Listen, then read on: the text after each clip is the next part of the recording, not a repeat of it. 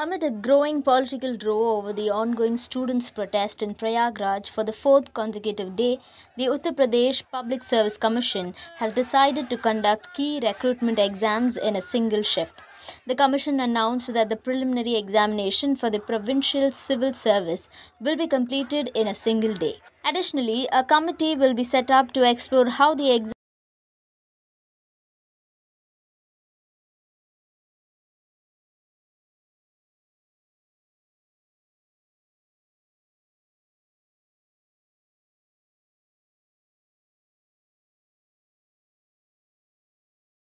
exams for recruiting review officers and assistant review officers can be managed effectively. माननीय मुख्यमंत्री जी के पहल पर आयोग पीसीएस प्रारंभिक परीक्षा 2024 को सैद्धांतिक रूप से पूर्व के भांति एक दिवस में कराया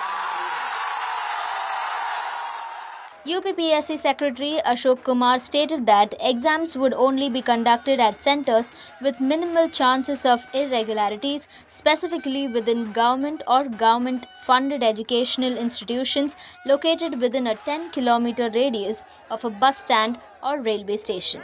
Despite this plan, he mentioned that there is a significant shortage of examination centers with only 4,35,000 seats available for the 5,76,000 registered candidates across the state's 75 districts and due to the logistical challenge, the exams were over two days appears unavoidable. However, the protesting students have dismissed this decision as merely a verbal assurance aimed to divide and rule.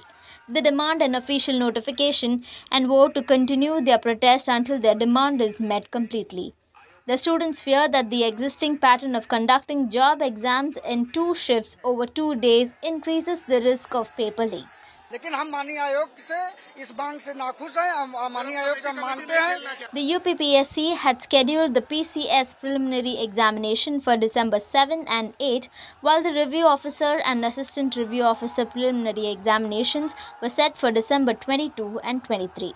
This protest comes at a critical time as the assembly by elections in Uttar Pradesh are slated for November 20 across nine constituencies, adding a political dimension to the unrest.